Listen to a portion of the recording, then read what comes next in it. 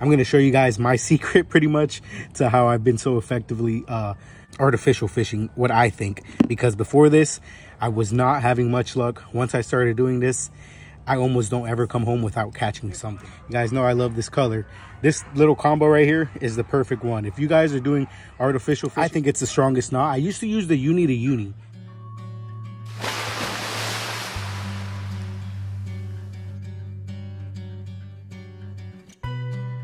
What's up guys, your boy Jay Fishy here. And guys, uh, today's video is going to be a little different uh, for one reason and one reason only.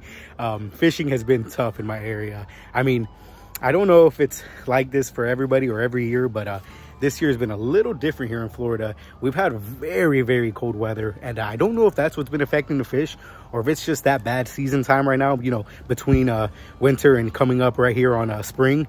So yeah um let me know how it's been for you guys. Uh, again i'm located in southwest florida so if you guys are in the area around tampa bay let me know which, if you guys been catching stuff. Uh, but hey i've just been having a tough time. So i decided today to do a video that i've been wanting to do for a very long time. Uh, not to mention it's uh, been uh, pretty much a whole year tomorrow of uh, me doing YouTube. So I figured let me do like a kind of like a special. And uh, I want to show you guys how I set up to go artificial fishing, kind of how I do my knots and uh, what I use. But yeah, so uh, there's not going to be fishing in this video. Hopefully you guys enjoy watching how I rig my setup. And uh, if you guys have any tips, let me know down in the comments. And also if you guys are going to use it and it's helpful to you guys, let me know too, because I love making these videos for multiple purposes, you know, to help out the new people or the people who are going to see it and be like, hey, dude, you're doing this wrong. You know, do it like this or something like that or just anything, guys. Let me know down in the comments. But yeah, I hope you guys enjoy this. And uh, yeah, I'm just going to show you guys pretty much how I set up to go artificial fishing.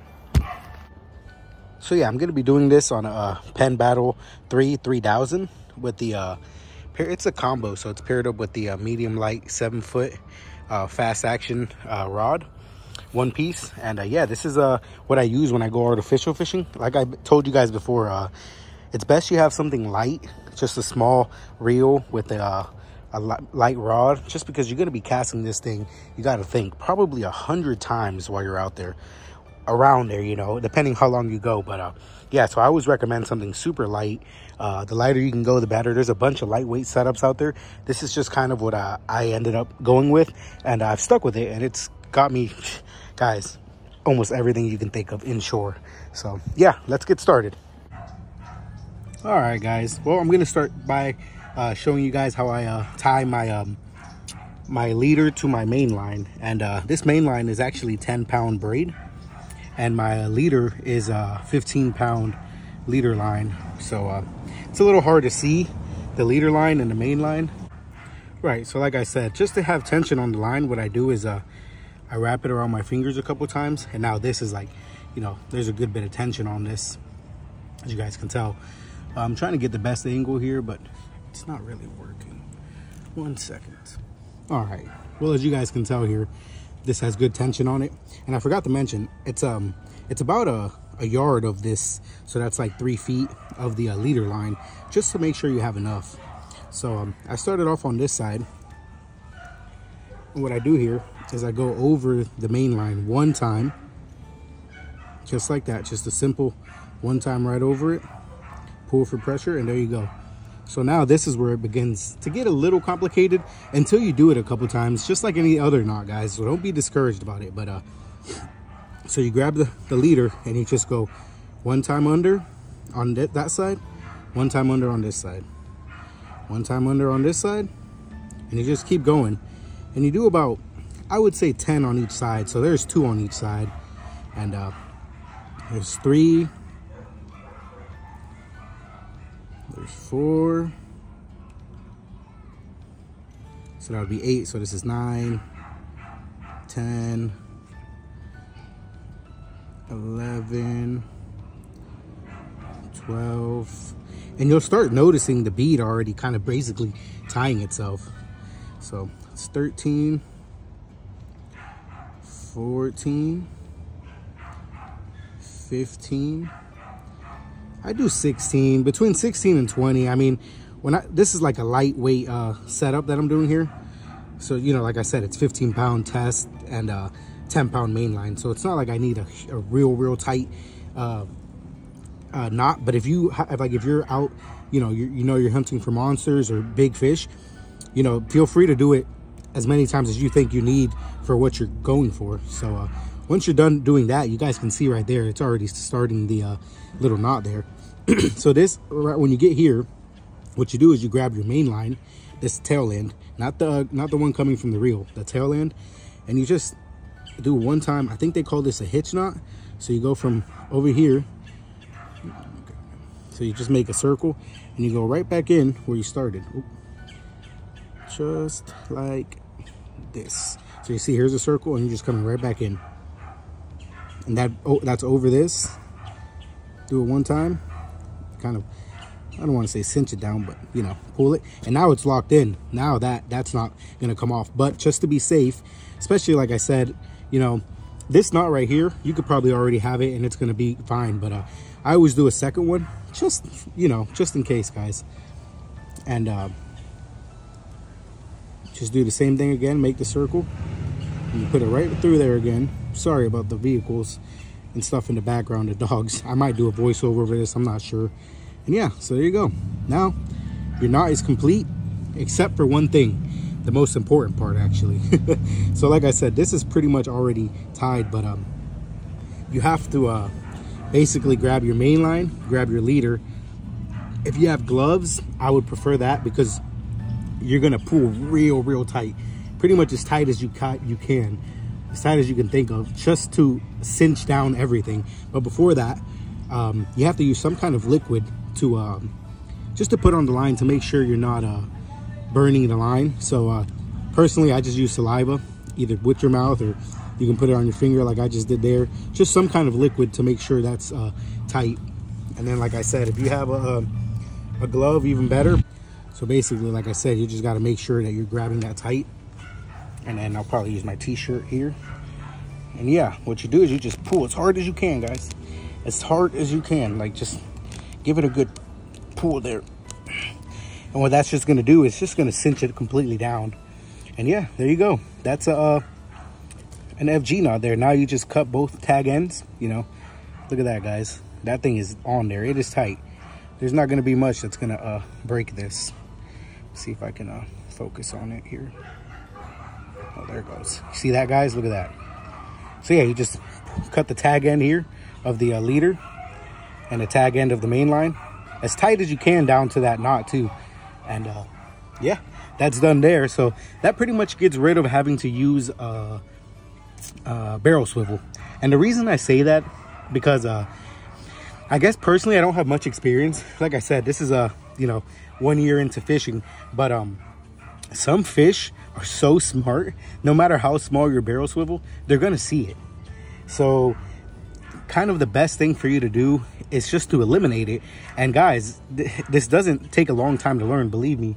It took me maybe five tries before I was able to completely uh, do my first one. And now, as you guys seen right there, this video is not even five minutes long and I just completed it. And I could have probably done it faster if it wasn't for me trying to make the video to show you guys. So um, yeah, let me uh, cut this up and then I'm gonna show you guys how I rig on my uh, jig heads. All right guys, well look at that. That's the uh, finished FG knot right there. As you guys can tell, it's super thin. Uh, again, this is because I have a light line and light leader line. So the thicker you go, obviously, you know, the thicker it's going to look. But this will slide right through your top eye on your uh, rod like nothing, guys. It's, it's seriously some of the uh, best. I think it's the strongest knot. I used to use the uni to uni for a long time until I started realizing uh, I was always breaking off at the uh, this at this knot, the leader to a main line. I wasn't breaking off on the hook anymore. And I was like, man, that must mean that my hook um, knot is stronger than my leader knot. So I changed it up and now this is what I use. But uh, yeah, so as you guys can see in the background here, we got our uh, little trusty uh, jig head with our Slam Shady on it. You guys know I love this color. This little combo right here is the perfect one. If you guys are doing artificial fishing, guys, um, and you're not too familiar with it, just pick up a paddle tail and a jig head. I prefer light quarter ounce because uh, once you start getting too heavy, you know, you're going to get more tired the more times that you uh, cast it. And not only that, you're also going to be just um, kind of floating on the bottom rather than the top. A lot of the times with uh, these jig, with these uh, paddle tails, you want to be closer to the top uh, water level maybe like middle, but you definitely don't want to be on the ground too too long because you're just going to keep getting tied up on structure or just anything. You just want something lighter, in my opinion. But I guess it depends on where, where your area is, what you're doing with it. This is just what I do, guys. So now, this is the most important part, right? So you get your leader. And uh, guys, I'm gonna I'm gonna show you guys my secret pretty much to how I've been so effectively uh, uh, artificial fishing, what I think. Because before this, I was not having much luck. Once I started doing this, I almost don't ever come home without catching something, whether it be a ladyfish or, you know, a trout, it's something. So you're going to grab your leader, right?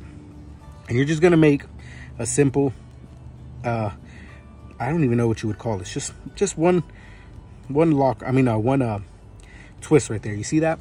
That's all you're going to do, guys. You're going to make one circle like that. And you're going to grab your jig head and you're going to put this tag in through your jig head. As you guys can tell, it's not going to make it past that knot there, that loop. What you're going to do is you're going to grab your tag end and now you're going to push it through here, through that circle you made, right out the top. And you're going to notice that you've created this loop in the center. As you guys can tell there, there's a loop. And now this is the main line. This is the tag end you're going to wrap it around the main line three times. One, two, three. As you guys can see there, the loop is still in the center. Now you're going to grab it under. You're going to push it under right through the middle of that loop that you made. You're going to use a little bit of liquid. I use saliva there, sorry. and you're just going to start tightening it.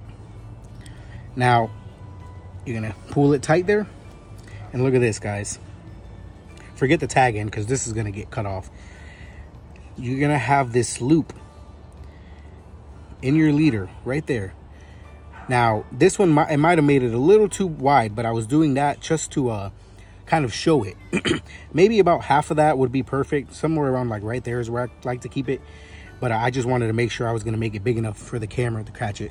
So now, guys, this loop knot, I personally think is what is giving me so much more um like just being so much more effective when I'm out there. You're gonna make sure you gotta make sure this is tightened down too.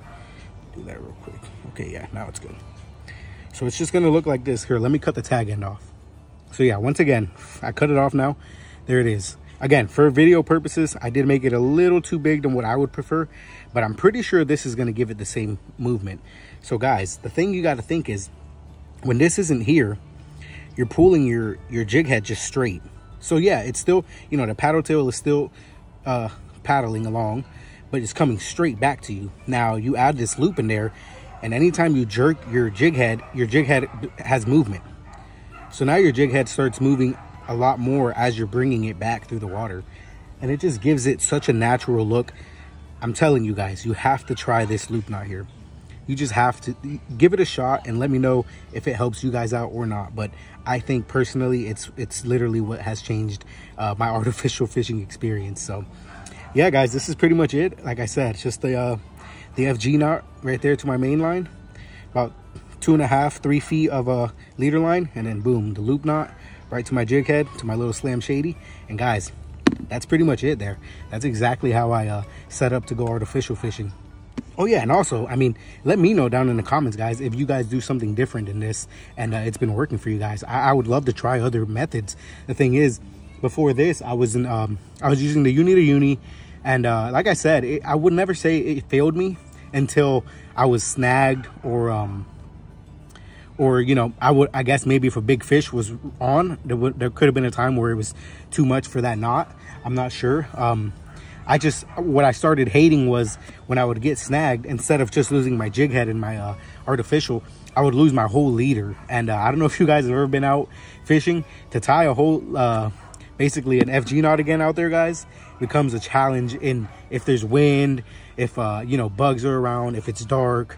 There's just a lot of things that could happen that would make this knot this knot here a lot harder to tie so i was getting tired of losing my leader i would much rather just lose my hook and you know tying that loop knot is 30 seconds max as you guys can tell even in the video with me explaining it it was about 30 seconds so yeah, again, let me know in the comments if you guys do something different. I'd love to try it out and maybe uh, showcase it. Hey, I'm down to learn whatever. You already know me, guys. I, I pretty much tell you guys all the time. Y'all probably know more than me. I've only been fishing for a year.